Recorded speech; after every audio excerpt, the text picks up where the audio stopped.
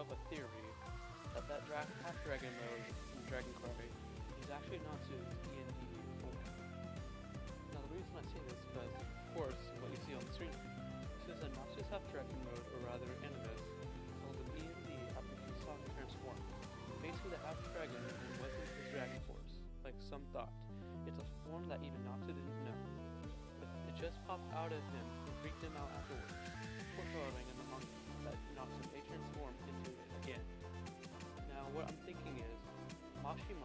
planned this. He planned it not to return this E and E state, or this half-dragon state, after the release of Dragon Cry, so he wouldn't spoil it for the movie. So what I'm to do here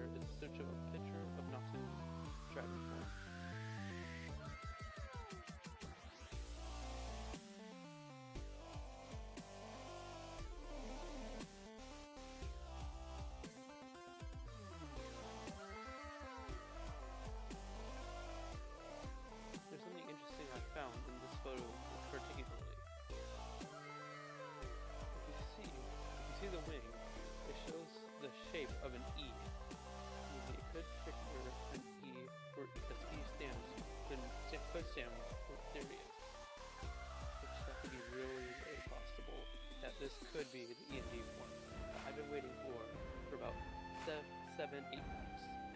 Because easily 503 was my favorite chapter.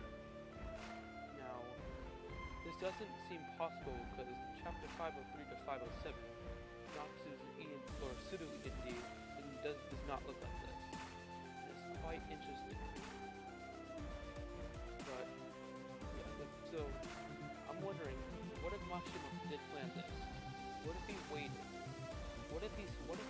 chapter 535 we all know no one like no one really liked it because nothing really happened in the story.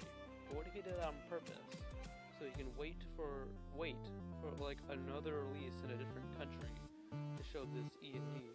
Or what else I've been thinking is what if this since Natsu now knows he's E and D, he can this is just a this picture or this mode is just a glimpse of what he can actually do.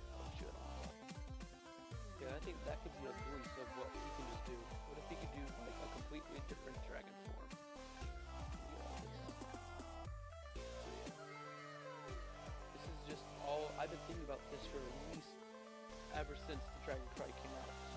And even before that Mashima actually planned this. It might sound crazy, but